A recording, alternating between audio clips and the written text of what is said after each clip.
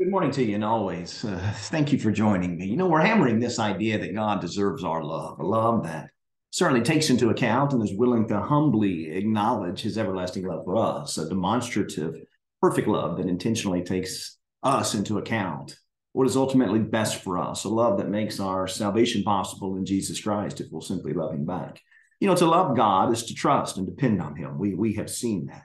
It's to keep his commandments ultimately. We, we've seen that to love God is to love our brethren, to love our fellow man. And certainly well, we've talked about that. And the question becomes do we love God?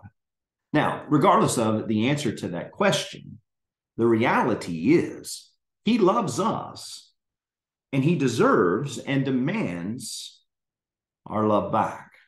This morning, I want to read from Matthew's Gospel, Matthew chapter 22. I'll have very little to say by way of commentary because it doesn't need a whole lot of commentary, but we're going to focus on um, a phrase that that we have already covered, but one that um, really encompasses or should encompass everything that we are and are about. So I want to begin this morning in verse 23. and We'll just read down to the end of the chapter. The Bible says, On that same day, Sadducees, who say there's no resurrection, came to Jesus and questioned him, asking, Teacher, Moses said if a man dies having no children, his brother as next of kin shall marry his wife and raise up children for his brother. Now there were seven brothers with us. The first married and died, and having no children, left his wife to his brother. So also the second and the third, and down to the seventh. And last of all, the woman died. In the resurrection, therefore, whose wife of the seven will she be? For they all had been married, for they all had married her. But Jesus answered and said to them, You're mistaken, not understanding the scriptures nor the power of God. For in the resurrection, they neither marry nor are given to marriage, but are like angels in heaven. But regarding the resurrection of the dead, have you not read what was spoken to you by God? I am the God of Abraham, the God of Isaac, the God of Jacob. He is not the God of the dead, but of the living crowds heard this, they were astonished at his teaching. But when the Pharisees heard that Jesus had silenced the Sadducees, they gathered themselves together.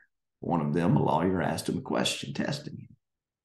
Here it is again Teacher, which is the greatest commandment in the law? And he said to him, You shall love the Lord your God with all your heart, with all your soul, and with all your mind. This is the great and foremost commandment.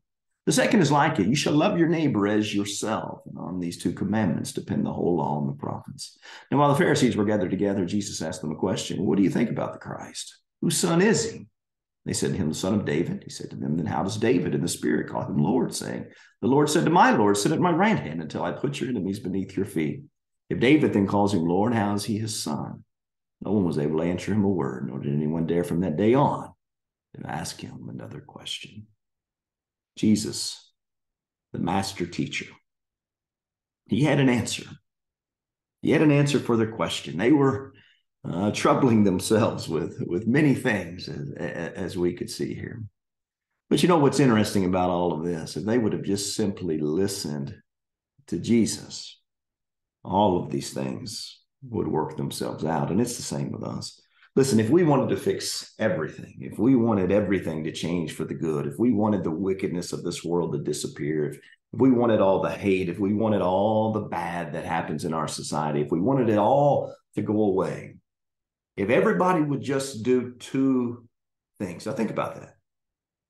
There's so much just complexity by way of the, the solutions uh, uh, of the world. You know, you, you turn on your news, and sometimes when I'm working here in the office, I'll have it on in the background. And, and, from the time you get up to the time I, I leave the office, from you whatever time in the morning to whatever time in the evening, I mean, it's just problem after problem after problem after problem after problem, and talking head after talking head after talking head, talking head. You know, this man's going to fix it. This political candidate's going to fix it. This person's going to fix it, or or we need to do this, or we need to pass this type of legislation, or yada yada yada. And so we just keep talking, but we still keep continuing to have the same old problems that have plagued us from the beginning of time. What's the answer? Love the Lord your God with all your heart, with all your soul, with all your mind. What if we just did that?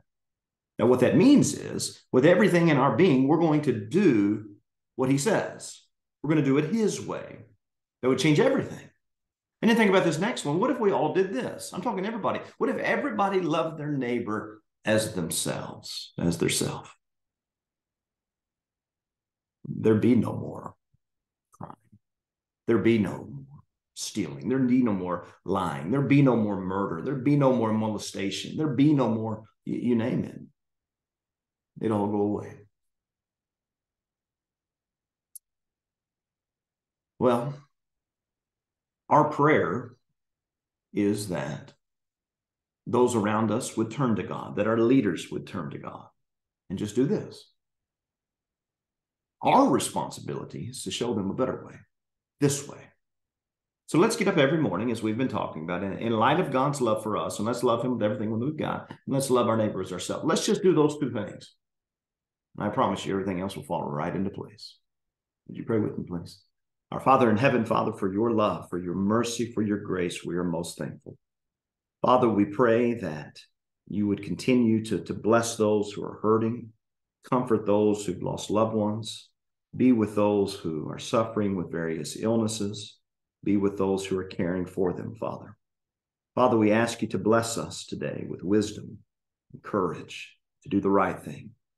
Bless us with opportunities to show others, Father, that your way is the best way. Help us to love you with all that we have, as you have loved us. Help us, Father, to love our neighbors as ourselves. Before we speak, before we do, before we react, is this love? Is this love for them? Is this love for you? Those are the questions. Help us, Father. In Jesus' name we pray. Amen.